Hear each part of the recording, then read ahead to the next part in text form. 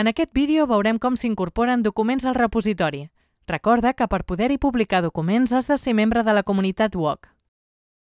Podem accedir directament al repositori institucional de la WOC o 2 des de l'enllaç que trobarem a la part inferior de la pàgina principal de la biblioteca.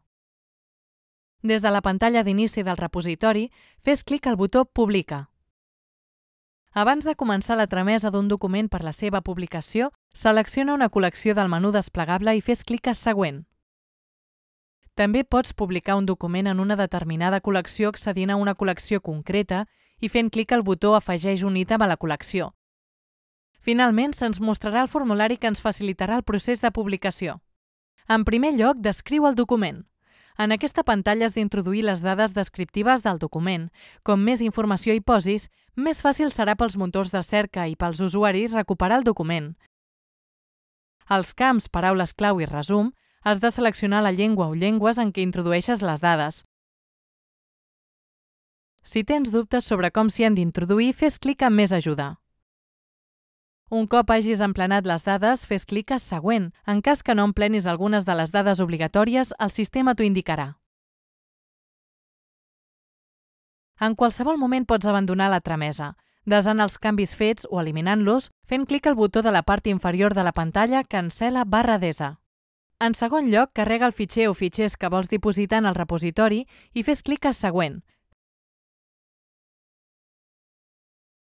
Si vols pujar-hi més d'un arxiu, introdueix una breu descripció de cadascun i fes clic a Afegeix un arxiu. També pots tornar a qualsevol de les pantalles i modificar o revisar el que hi has introduït sense perdre cap dada. Per fer-ho, fes clic a qualsevol dels botons de la barra superior de la pàgina. En la pantalla següent comprova que tot sigui correcte. Comprova les dades introduïdes i corregeix-les si cal, afegeix o elimina arxius, selecciona una de les llicències de publicació del document i accepta la llicència del repositori.